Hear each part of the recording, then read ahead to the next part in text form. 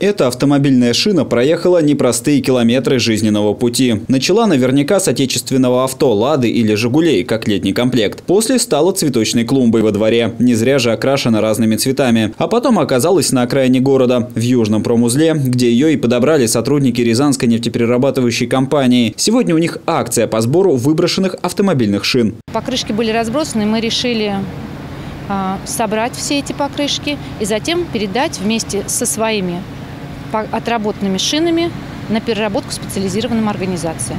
Покрышки были собраны, они сзади меня находятся, и стоит машина, на которой покрышки, которые были собраны ну, точнее сказать, накоплено на территории АУРНПК. Оставь эту покрышку в траве, и она будет разлагаться целый век. Буквально. К тому же это отходы четвертого класса опасности. Поэтому важно их после использования именно что сдавать на переработку. Правда, так считают далеко не все. С одного только южного промузла вывезли 20 кубометров опасных отходов. Целый КАМАЗ отходов, собранных всего с 4 километров. Из покрышек путем переработки, там есть несколько видов, можно получить такие компоненты, которые в дальнейшем будут использованы для кровли, для дорожного покрытия.